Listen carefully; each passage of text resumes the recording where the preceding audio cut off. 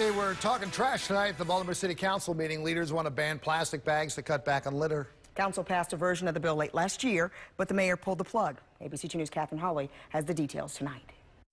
I'm introducing tonight the plastic bag ban. Councilman Bill Henry thinks the seventh time may be the charm. He introduced a bill at tonight's Baltimore City Council meeting that would ban most retailers from giving customers plastic bags for carry-out food or at checkout. My hope is that we can work out a win-win here because at the end of the day, the city would prefer that there be no disposable bags so that we don't have to clean them up.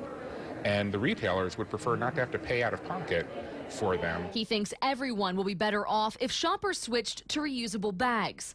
Last year, council passed a bag ban bill that had started its legislative life as a five cent fee.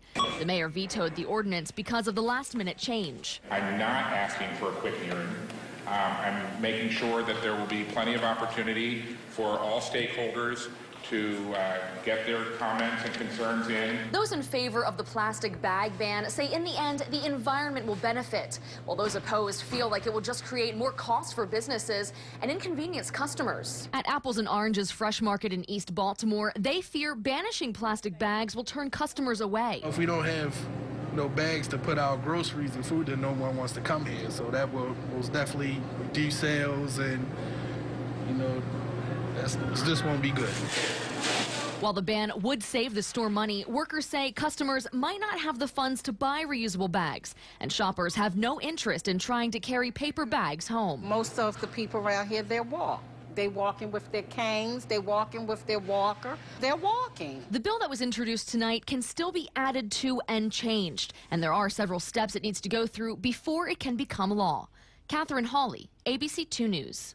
They've been going at it for a long time, and the city council wants to hear what you think of the possible plastic bag ban, whether it's negative or positive. You should let your council people there, know. And there are efforts also at the state level to impose a ban across the whole state of Maryland. Councilman Henry is confident something's going to be passed in the General Assembly here or in our city.